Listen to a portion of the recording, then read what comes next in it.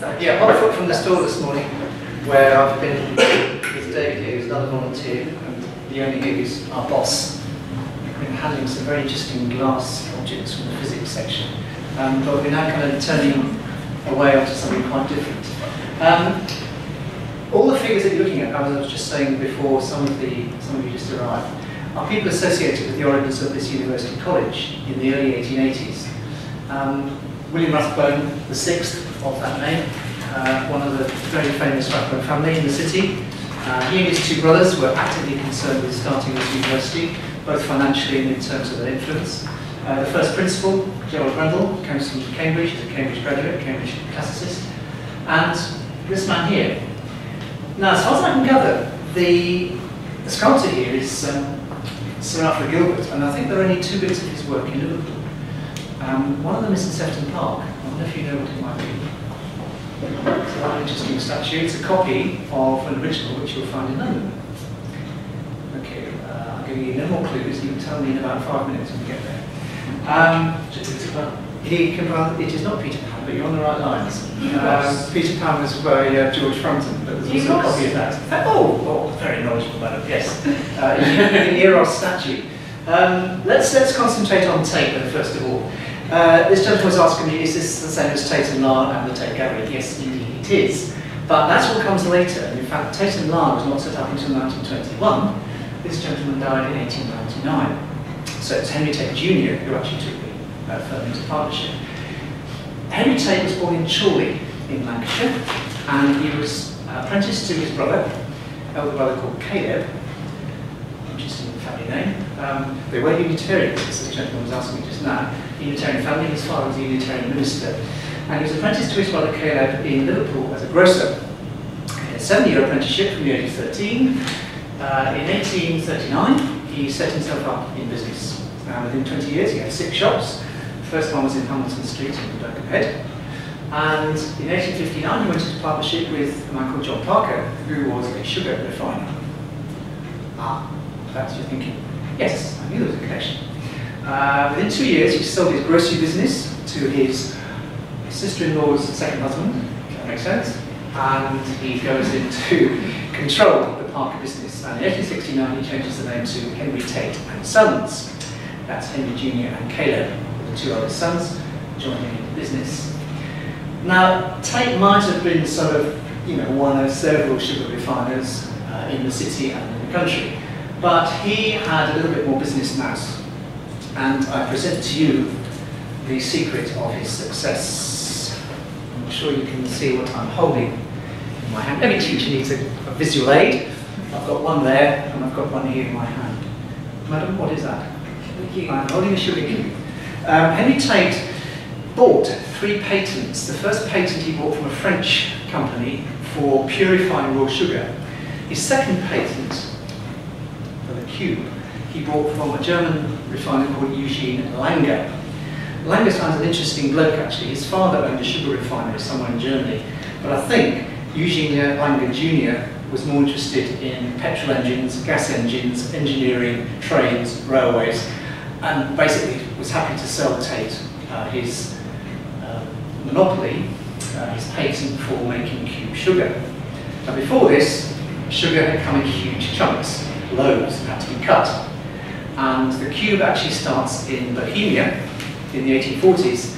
Uh, a man called Jacob Rad was fed up with his wife uh, asking for small bits of sugar to put in her cups of tea. Presumably she was drinking large cups of tea out of saucepans or something, because she couldn't get small enough lumps. Uh, so he uh, devises a machine to cut sugar into small cubes. Essentially, Tate does the same, but he does it better.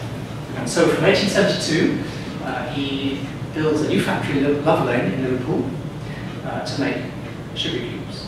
He opens a new factory in London in 1881, and he makes a lot of money.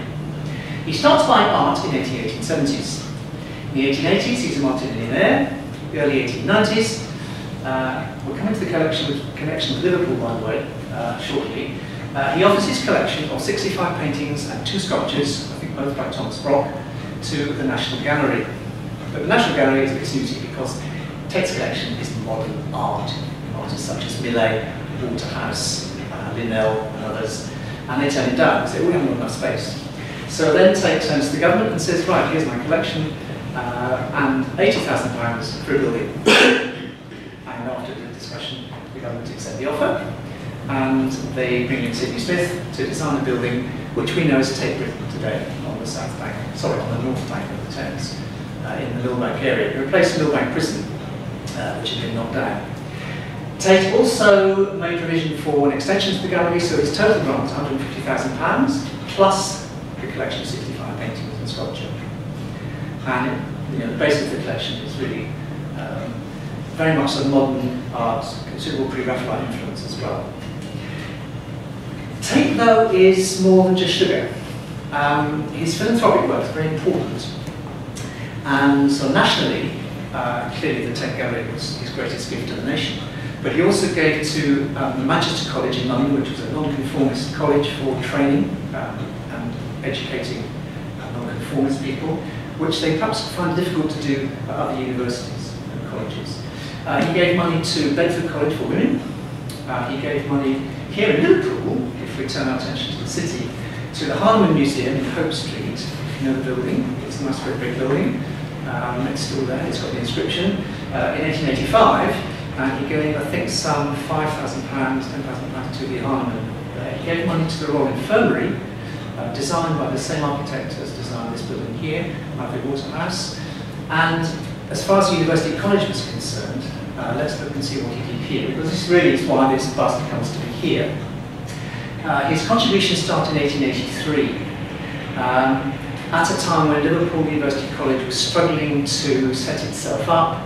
It needed to be more firmly established, and was one people gave £5,000 to sort of broaden the curriculum. In 1887, he gave £1,000 when there was a, a fund started to build the building you're sitting in now. More than that, though, the next year, he offered £16,000 to pay for the library wing. The architect had designed the buildings in three blocks, and the library wing this end, um, Tate offered 16000 He was later persuaded to raise that to 20000 partly to pay for the oak floor, which he insisted on having in his library, and some of the furnishings. Uh, he also gave about £5,000 for books, though I have seen a document which says it actually is 10000 which actually states he gave 10,000 for the books and the furnishings in the library. An extremely generous contribution, but it didn't stop there. He gave money for scholarships in memory of Charles Beard, actually, who's our Unitarian minister here. He died in 1888. Um, Tate gave money for scholarships in his memory, history scholarships, actually, just interestingly. Uh, he gave money for technical scholarships too, um, some £2,000. He also gave more money to the library in 1896. And if I've got my maths correct, I've read all the documents correctly, I think he gave £49,000 to the University College. Multiply that by 60, and you get some idea of his contribution. It's about £3 million in today's money. Um, it, it's, it's about the greatest contribution in the 19th century. Um, second only to George Holt, whose bronze you can see on the next staircase up, by the way. Uh, he gave about 46,000 as well, Anyway, looking here at an extremely generous man, and all this after he left Liverpool to settle in London in 1881. He lived in South London in Streatham, where he incidentally he paid for lots of libraries in South London. That's his other philanthropic contribution. So he did not forget his Liverpool roots, where he established his business. His business was still running in Love Lane anyway. Uh, so all his contributions actually come after he leaves the city, which is interesting.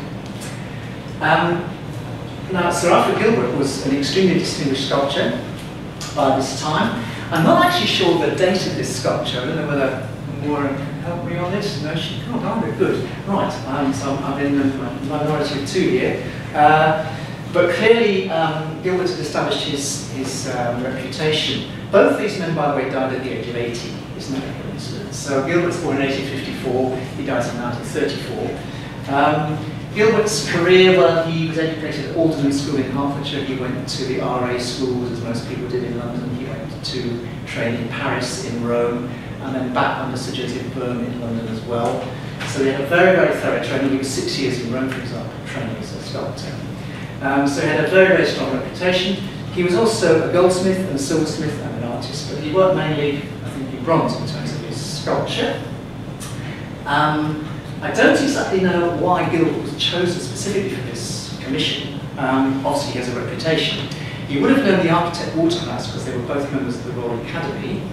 Um, there's probably other connections which I'm not actually sure of. Um, Gilbert's career took a bit of a downer in 1902 when he, began, when he worked, became bankrupt. Um, he started studying bits of sculpture.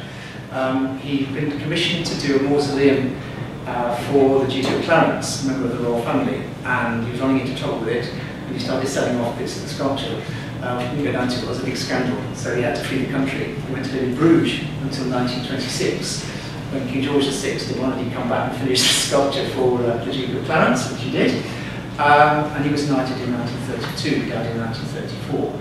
Um, so Gilbert's had an interesting career. Now you probably know uh, Eros was his, his best known uh, sculpture in London, and the one in Liverpool was uh, cast uh, under his direction um, in 1932, in fact. Uh, there are lots of other well-known works around the country. Um, there's a very important bronze of Queen Victoria in Winchester Castle. All these date from sort of 1880 to 1890, um, before he became Professor of Art and Sculpture at the Royal Academy, in fact. Um, but he's, he's, along with a number of important architects like Brock, Boehm, who were knighted as a result of their, their sculptural work. So that's the connection between the two, and that's the important connection of Tate with Liverpool University at Western College. That is why that bust is here. Thank you. If you any questions, please Excuse me, uh, it's a different guy with the bus outside Brixton. There's one, there's one outside Um, there. It's a different guy, but it's also Tate because that was one of the libraries, in fact. Brixton and Streatham, and another one in South London, I can't remember it. I don't, I don't honestly know who did that one, I'm sorry. Uh, It looked quite similar, but. I should think so. I mean, it's probably very similar. I've got a, a photograph of Tate. Um, I mean, that's a different angle, but yeah, I mean, I imagine if uh, you were to done another copy, it would look pretty similar. Um, but it's uh, it's a good substantial figure. Um, but you know, to a very important man who revolutionised the manufacture of sugar, made it so easy for us to dip um, a cube into our cup of coffee and of sugar rather than cutting off a great chunk from a loaf. Um, and indeed was uh, very, very generous to a number of causes um, as well.